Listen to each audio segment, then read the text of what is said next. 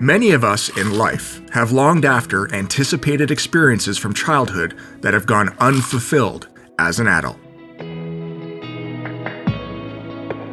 For whatever reason, these youthful desires for adventure don't happen. As you get older, they get filed to the back of your consciousness, seemingly forgotten, filed under the category of unrealized.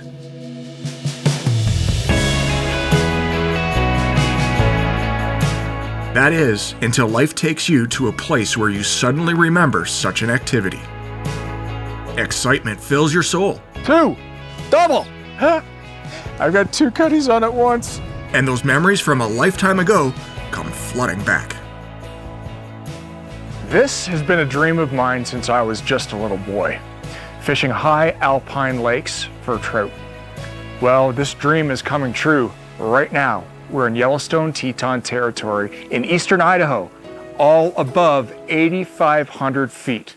We're on the hunt for cutthroat trout. This big fish, high elevation adventure starts right now on the New Fly Fisher.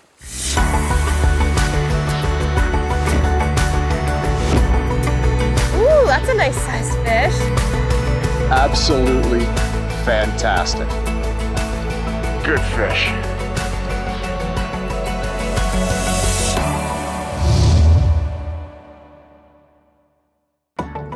The new fly fisher is supported by Visit Idaho, Yellowstone Teton Territory, Orvis Fly Fishing, Scientific Anglers, Trout Unlimited, WeatherTech Canada. The Rocky Mountains span from the far north of western Canada to New Mexico in the southern USA. 3,000 miles of rugged beauty. The Rockies also make up a major part of the state of Idaho. In eastern Idaho, as with the rest of the state, they are revered for their beauty, their majesty, the recreational adventures they afford, and of course the fishing opportunities in both foothills and at elevation be they small spring creeks, large rivers, reservoirs, or high alpine lakes, Yellowstone Teton Territory is an angler's mecca for multi species in a variety of settings. We're in Victor, Idaho, making Teton Valley Resort our home away from home on this high alpine adventure. Doing day trips into the mountains in search of cutthroat with Idaho fish and game biologists John Heckel and Brett High. Idaho Fish and Game has been working in the state to advance fishing opportunities, and a major draw to angling in the area is the incredible alpine lake opportunities available to everyone.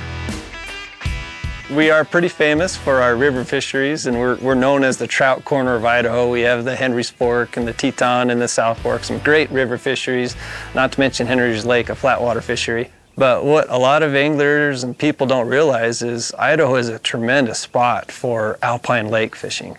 A lot of Idaho is public land, Forest Service, BLM, and we have over a thousand lakes in Idaho, alpine lakes, that have fish. And we have a wide variety of fish species that we, that we stock in these mountain lakes and manage for. Some of the more exotic species are golden trout and Arctic grayling, a lot of these alpine lakes just provide great opportunities for solitude, for fishing, for diversity in your catch, and all of that in a pretty scenic background. As far as travel to these lakes, it also provides a, a, lot of diversity and that's intentional. The land managers make a concerted effort to provide different methods of travel to their lakes. So there's some lakes that you can drive an ATV or a side-by-side -side to, and there's some lakes on the other end of the spectrum that there's not even a trail to. So you have to bushwhack and find your own way.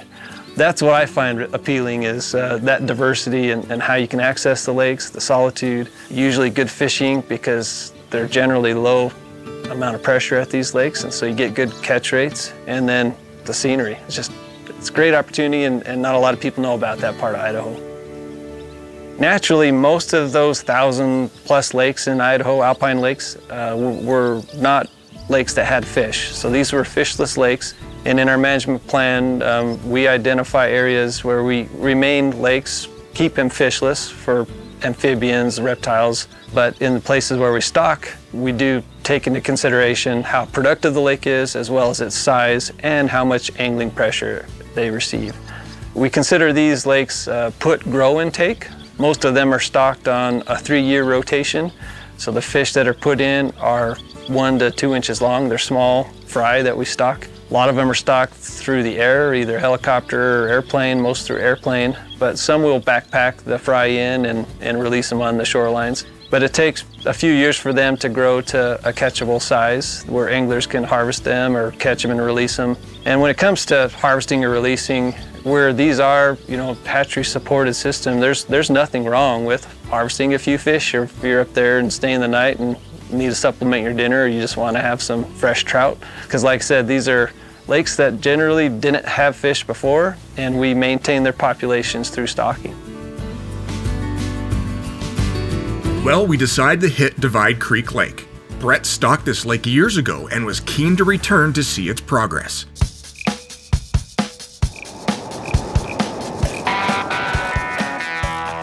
This lake you can hike to, 12 miles round trip, but what we decided to do was dirt bike in, so we loaded up our trucks and headed to the trailhead. Dirt biking is a fun and exciting way of accessing remote alpine lakes, but as we learned very quickly, access in the mountains can change season to season. What was once considered an intermediate level trail to access the lake had suddenly become quite treacherous due to previous scree slides. So, we decide to pull the plug and head out safely. Or so I thought.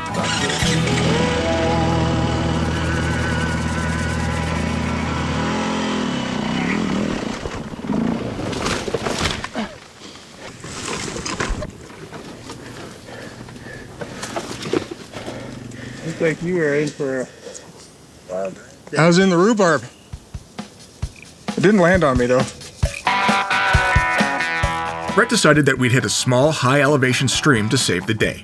This section is on public land and was one of his projects years ago. The game has switched to cutthroat and rainbows. Gave it a try. That was an adventure. it was an adventure. Um, you know what? That's the part of high alpine fishing is that you never know what you're going to come across. It was a different trail than the last time you were here, wasn't it? It has a lot more rock in it, just more challenging than what I remember. It was difficult. Right. It was, there was some blood spilled, and uh, and as you say, pride was hurt. But Yep. The good thing about where we are, however, is that if you fail or you can't get to the lake that you want, you've got all kinds of other opportunities. What's going on? Yeah, so here we have a stream running through this section of public land. This is BLM. And uh, it's a stream where we still have some native cutthroat trout, but primarily what we should expect to catch are rainbow trout. Right. We have some wild rainbows in here up to around 14 inches, Right. and uh, with the fast water, it should be a good fight. Cool. Did you hear that? Yeah, Hoppers. hoppers. I got one tied on. Let's see what we can do.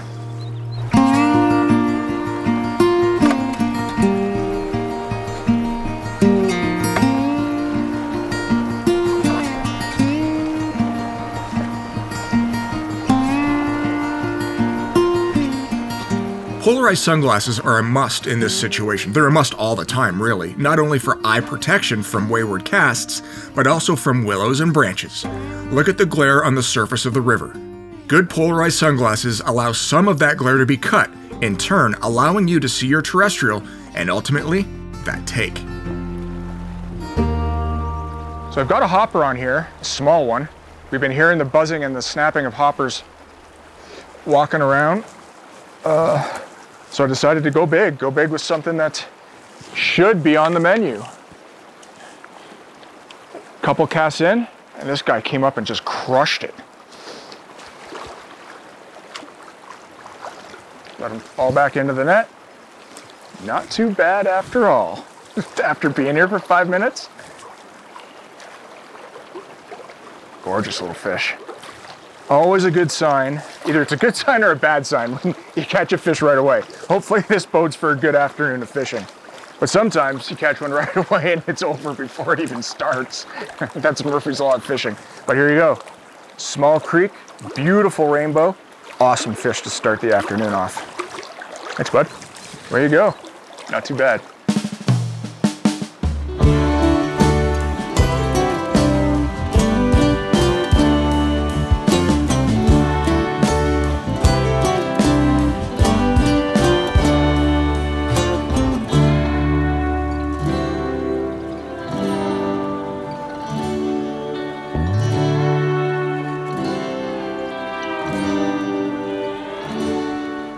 Small alpine creeks offer incredible adventure for anglers. For this creek, I'm using a 4 weight 9 foot rod with a weight forward 4 weight floating line. Leader is a 9 foot 4x tapered leader to my hopper. Now, it's Brett's turn.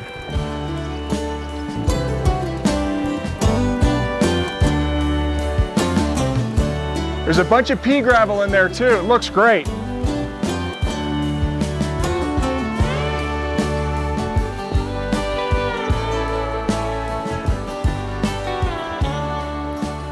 That was fun. That was fun. This is where waders come in handy.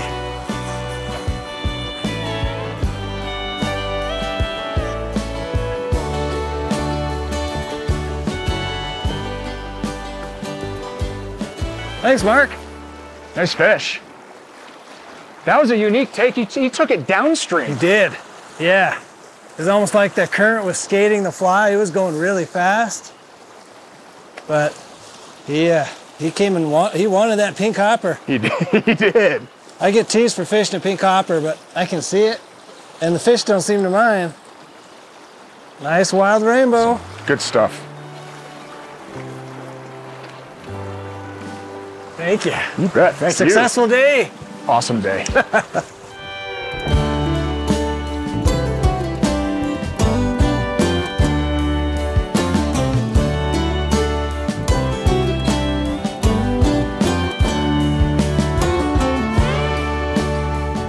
Fish. 11th. Oh, it's a good one too. Nice rainbow. Took the nymph. I'm glad I put that dropper on. Where's my net? I lost my net. Lost my net. So I'll just wet my hand.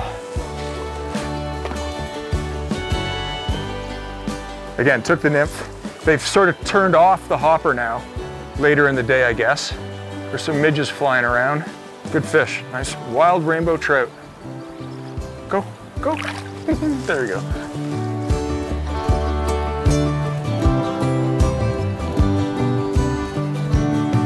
So overall, you've since since you've started your career, Brett, you've seen a, an overall improvement of the fisheries here in Idaho. Is that, is that safe to say? That's an excellent question. And I would say yes. Yeah. I think a lot of that may be due to just environment, uh, abiotic factors like weather, water, but some of it's also due to the way the anglers behave. A lot more catch and release now, so we're not seeing overharvest anywhere in the state that I know of.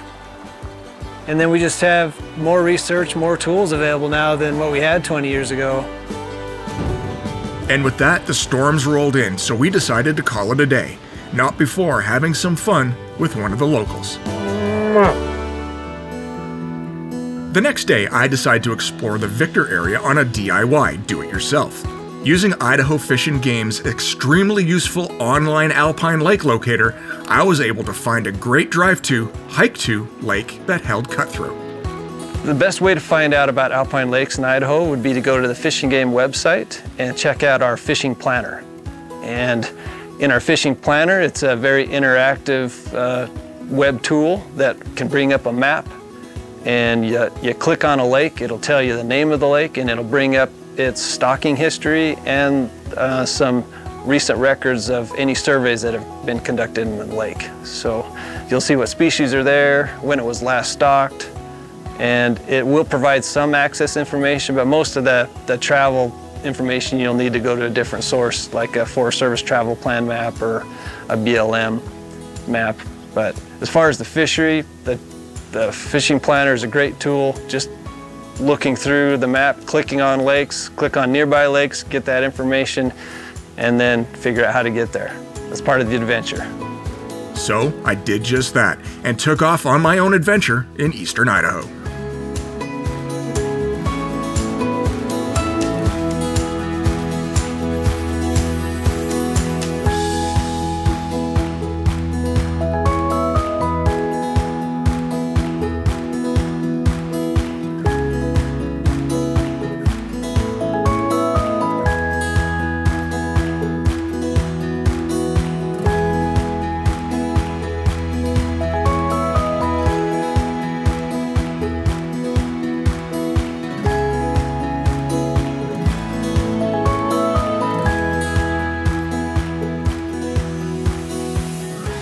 Well, you want to talk about ease of access? This is about as easy as it gets. A short drive in and then about a mile walk on a pristine trail. This little lake is absolutely perfect.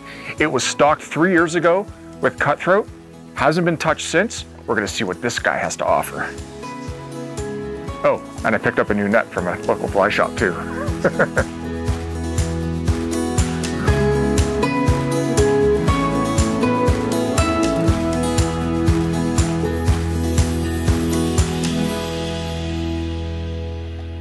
How do you like that? I just threw my fly out to uh, to strip out some line, and this another fish just surfaced right there, and this little cutthroat came up and ate my hopper. We've been fishing a couple of days here, and there's been hoppers all over the place, so I decided to start with a hopper. Sure enough, here we go. How beautiful is look at the gash on that little guy. Perfect little cutthroat a walk to High Alpine Lake. Hopefully, this is going to be a very productive day. oh no, a fish on the first cast. That is superstitiously a very bad sign. And that omen stuck with me for a little while until I dropped my terrestrial snobbery and tied on a woolly bugger. I think that first fish on that hopper was actually a fluke. Uh, just lucky happenstance because uh, I haven't seen another one since. So I switched over to a black woolly bugger with a, a gold bead head. We'll see if that does a trick.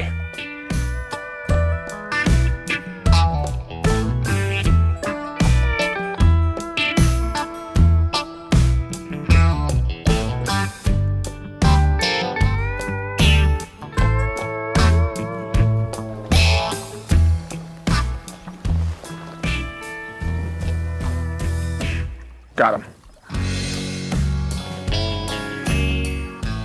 That little guy came and hit this woolly bugger a couple of times before he came buttoned. And uh, I like this spot because there's so much structure, there's so much timber. What I'm doing is I'm throwing a, a black beadhead woolly bugger and counting it down 30 seconds. Uh, as you can see, the shoreline drops off quite steep here.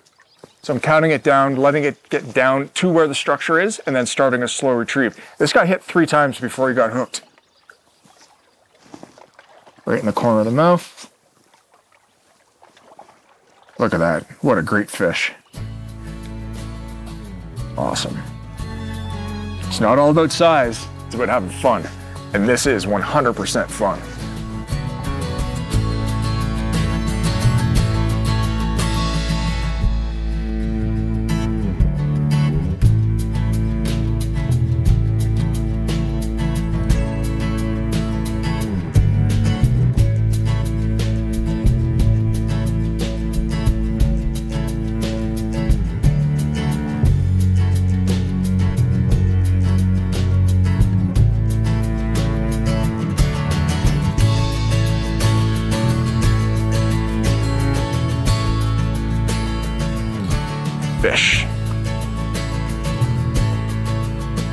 Black woolly bugger, you know, I always keep, I always keep some in my pack because they're, grab my net here, they're absolutely deadly on all species. I'll bring them around this side of the log. You know, they look like a leech. They pulsate with, with that fur. They're just so super fishy, these things, and everything eats them. Look at that, what a gorgeous cutthroat. Put your hands, I think flies it. Nope. Let's take a look. They are active, the water's freezing. I chose this spot because right beside me there's a tiny little trickle of river coming in. Look at that, fine spots, all towards the back of the body. Just gorgeous fish.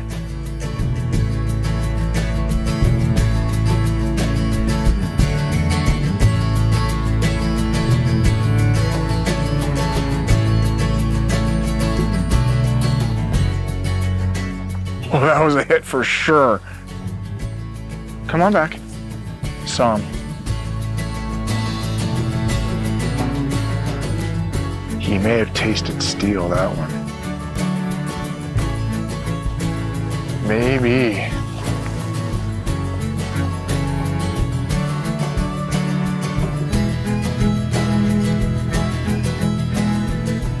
Fish. So in walking around this lake, fishing it on foot, no waders.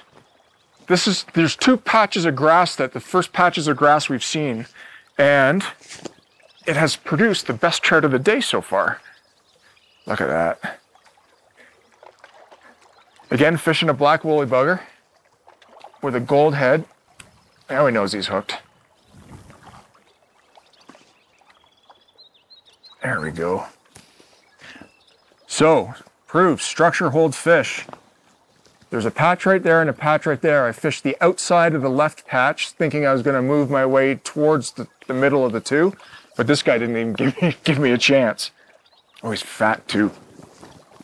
Fat cutthroat. He also has that in his mouth. So, you've got a cutthroat That's a salamander he's eating. That's a salamander. Look at its back legs. And look at the size of it compared to the size of the fish. They're almost as long as each other. That's incredible. Maybe I should up the size of my fly.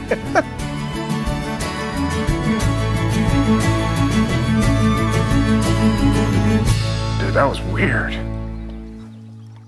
That was, I can't believe how big that salamander was. Like these things are voracious. For a, cutthroat to eat something of almost its same length, that's next level, man. Crazy. I just thought it had something like nasty in it. I was trying to save it. Didn't realize I pulled out its dinner. And he hadn't even swallowed the whole thing, and yet it's still eating woolly buggers. Nuts. What a fantastic day of DIY fishing in Yellowstone Teton Territory. What a little gem of a lake, and to think there are a thousand of these in the state? Incredible.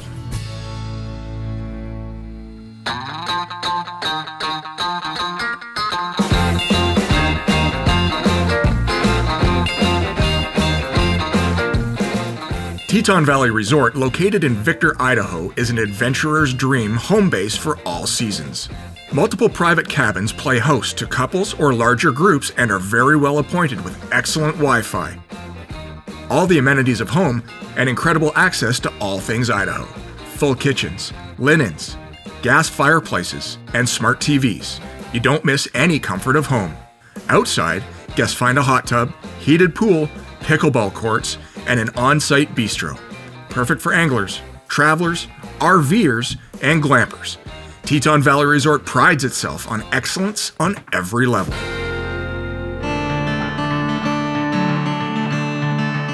It's day three on my Yellowstone Teton Territory high alpine adventure. Today we're fishing a high alpine set of lakes that are accessed by horse, llama, or foot.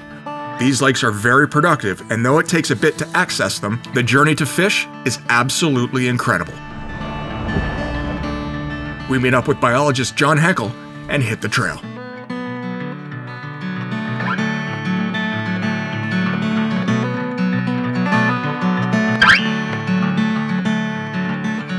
We stock our high mountain lakes with, with fry that are anywhere from like 40 to 60 millimeters. Sometimes they're a little bigger, but we stock them at that size uh, so that they can adapt to the conditions that they're in as fry and become adults.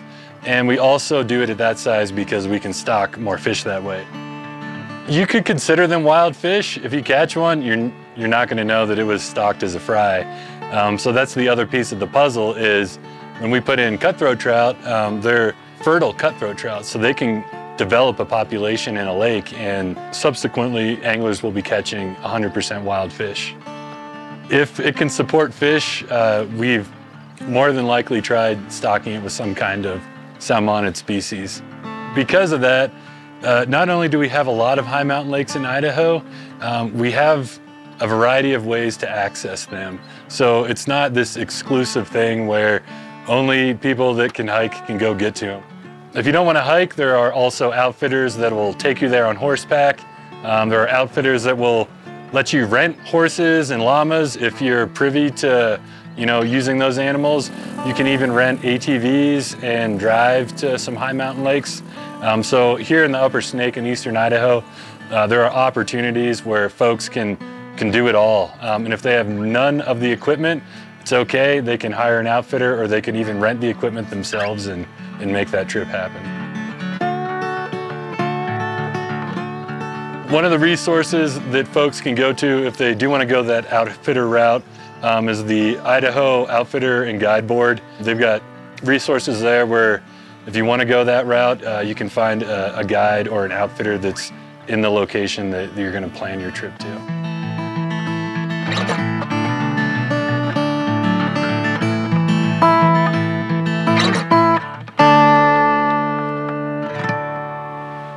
So no joke, this is one of the highlights of my life. I've been dreaming about doing this since I was a little kid. Fishing high mountain lakes. Like look at this thing, it's not even two acres big and it's full of cutthroat trout. Got tiny little beetles on. Let's go see what we can do up here in the mountains of Idaho.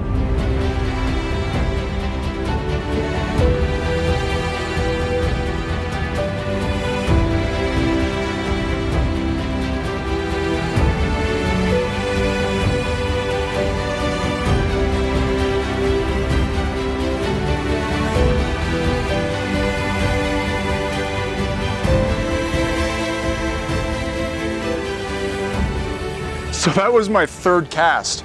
Third cast, and I, I gave up on it, to be honest with you. I was bringing the beetle back in, and as I was, I saw this cutthroat coming across. He saw it, came up, and just ate it right off, right off the surface. Totally fun. Haven't been here for two minutes. Looks like a good fish.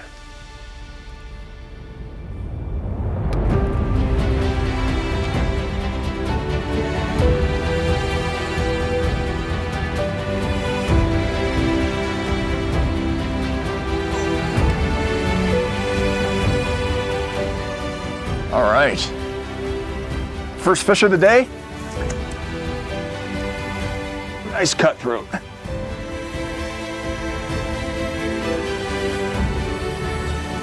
Good fish, man. That's awesome.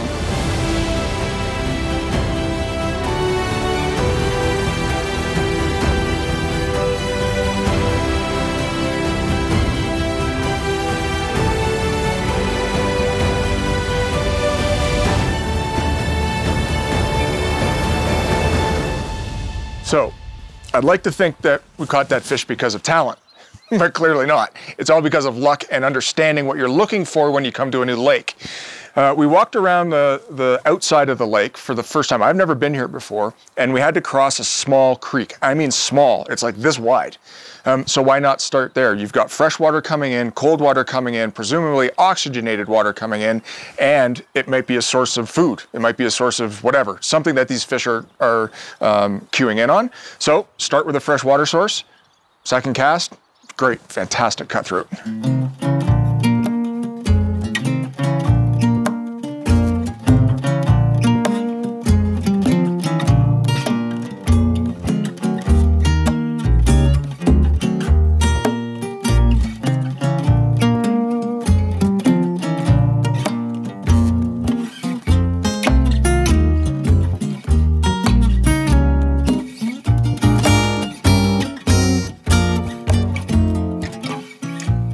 I keep fishing this creek inflow for another hour or so and don't see anything.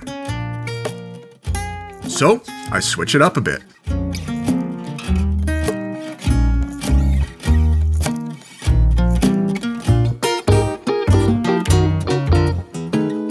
Nice. Now I didn't see the uh, the dry drop in any way, but what I did see was the flash on the nymph, and um, it's just like sight casting, right? So you see something that's not normal, set the hook. Now the last time th- this lake was stocked, from my understanding in talking with John, is that it was stocked back in 2020.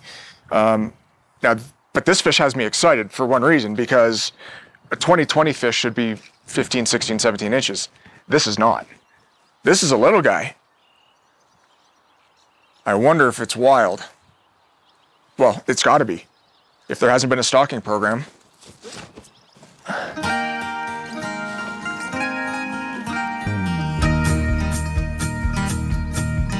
Great fish, little guy. Took the dropper.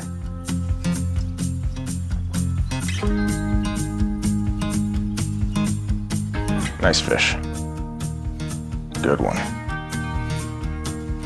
Beautiful orange gash.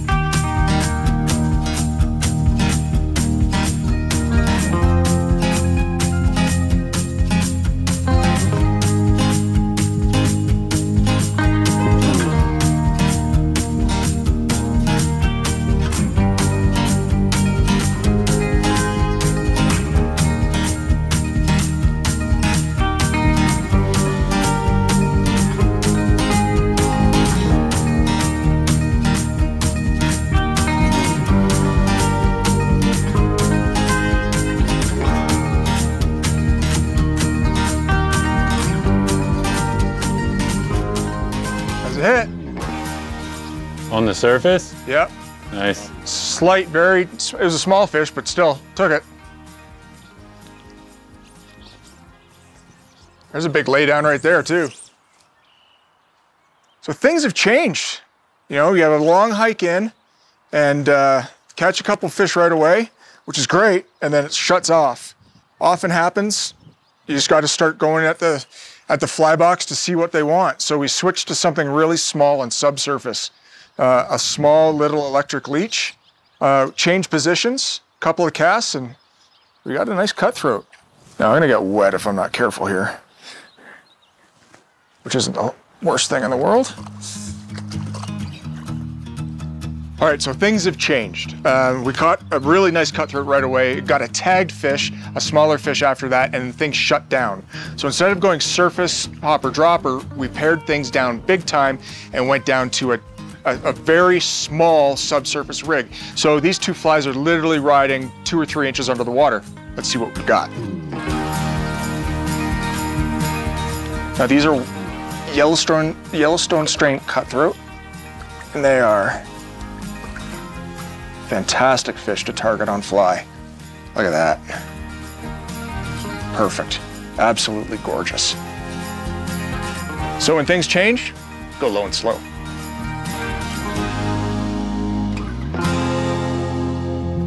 Okay, so the flies we're using here on this high mountain lake in eastern Idaho is a fly called the Mighty Mouse. And then 18 inches down from that is a Henry's Lake half-assed renegade. And that's the one that did the trick.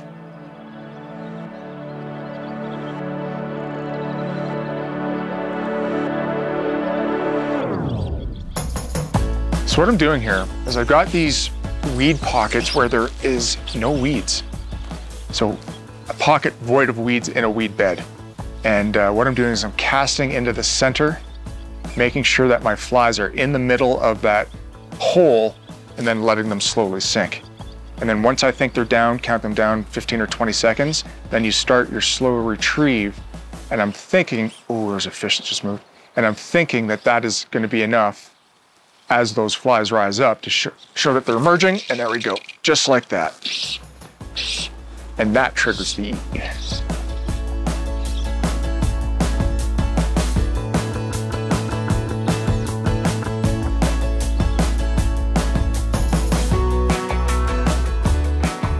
Little bit better fish. Once again, took the FS Renegade. But that's the ticket, right? Is you got to find out where they're feeding in the water column. If they're not feeding on the surface, go two inches below. If that's not happening, go a little deeper, a little deeper, a little deeper, till you're dredging the bottom. See what they need. They'll tell you what you want, what they want.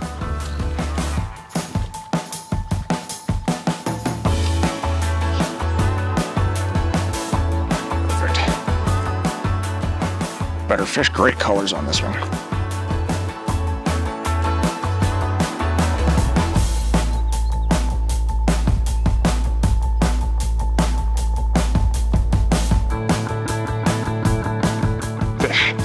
Good one too.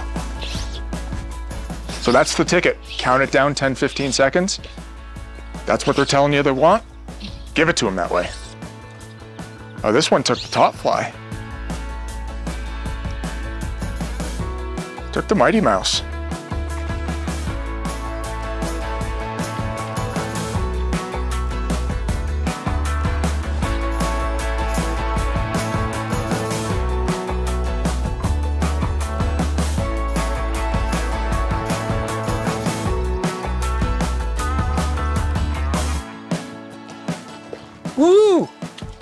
Other ideas. There we go, in the net. You know, the fall time is such a great time to target these fish in these high mountain lakes because everybody's hunting. There's nobody around. We saw one hunter at the uh, at the trailhead, and that was it. The whole place to ourselves. Flies are out. Now he's not a giant, but he's well worth the hike up to this lake.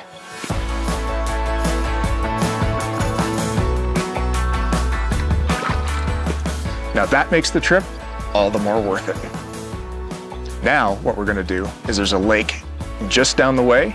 Apparently it's a lot smaller and there's a ton of fish in it. We're gonna go check it out now.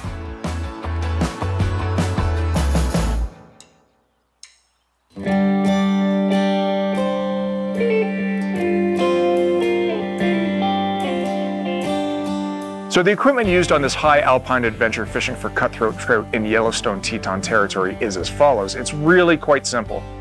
Four weights and five weights, nine foot fly rods with fast action so you can get those flies out into the lake.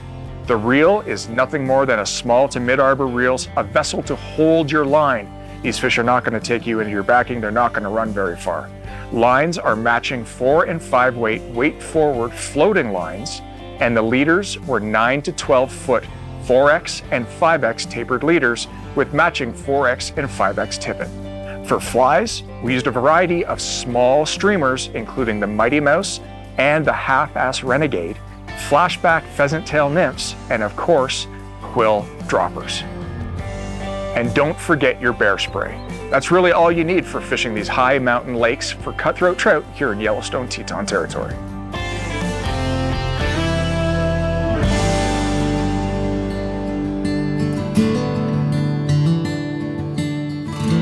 This little alpine lake is literally no bigger than a basketball court. With inflow and outflow, the fish can, and high water events travel from the top lake to the bottom. It must be both deep and have some sort of spring upwell, or it would definitely freeze in the winter. And if you can believe it, this little lake holds giant fish. we came down to this little lake, tiny little lake. And uh, I mean, look at the size of it. It's an acre big, and it's got cutthroat that have come down from the upper lake. And uh, there was a giant that swam under that tree. Uh, I was trying to get him out, but this little guy came and ate it. I'm not complaining, I'll take it all day long.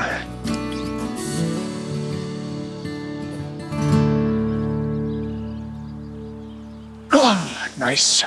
Right over here in the water. Let you see. This is so much fun Can't believe it. High mountain hunting. Look at these awesome little cutthroat. Ate the hopper.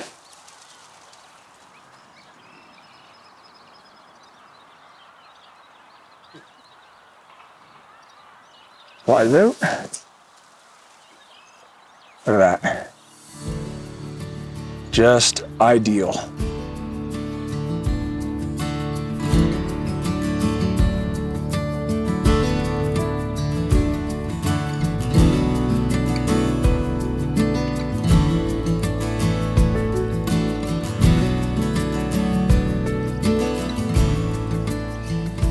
This is great.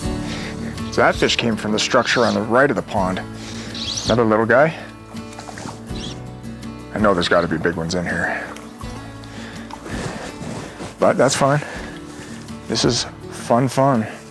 He struck it not like a cutthroat either. He came and just whacked it.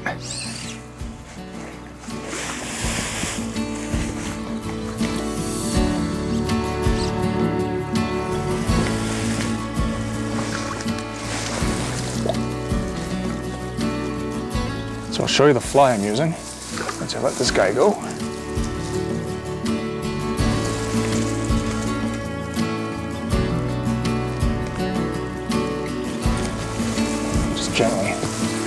So little, tiny green bottom, yellow bottom hopper. Nice little fly. Um, you know, floats high and uh, little twitches. The legs go crazy. It's got little rubber legs on it. The legs are back and forth and driving these fish nuts.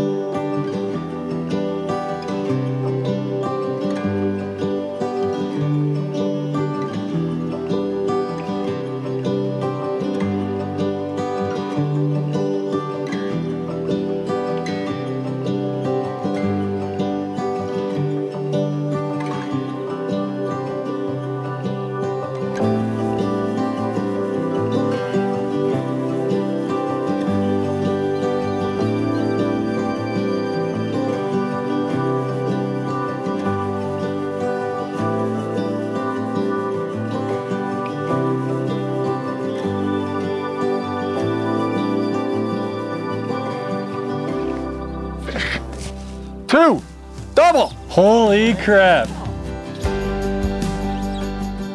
So I just tied on a uh, the rig, the subsurface rig that I had on back up top, and uh, I've got two cutties on at once. First time in my career that's happened.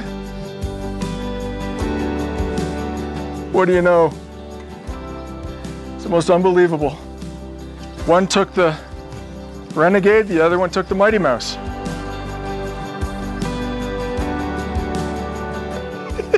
Unreal. Look how red those cheeks are. Oh my gosh.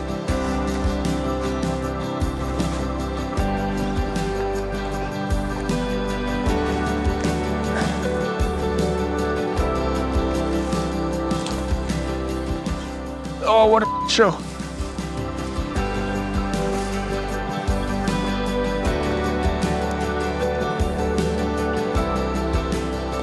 Got them both.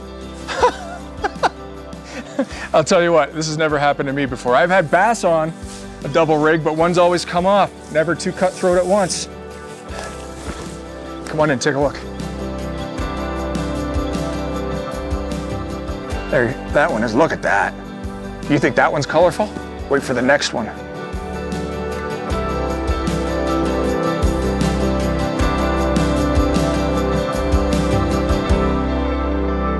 And those two fish, along with the long grass, gave me one heck of a tangled line.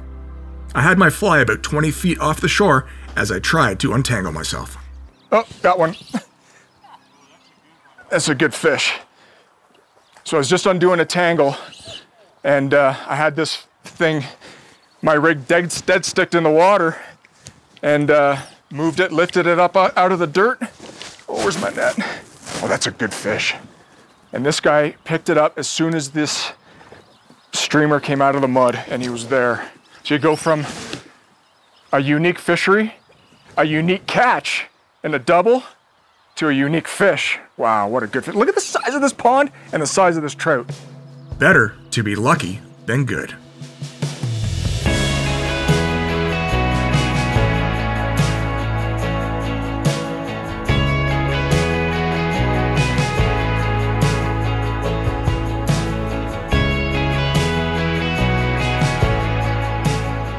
You are not going to believe the size of the cutthroat trout that has come out of this tiny, tiny little pond.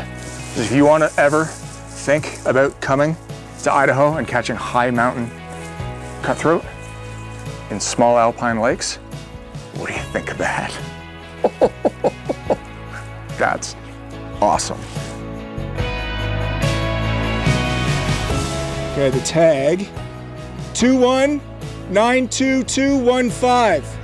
One of the cool things about this fish is that it's part of the Fish and Game tagging program.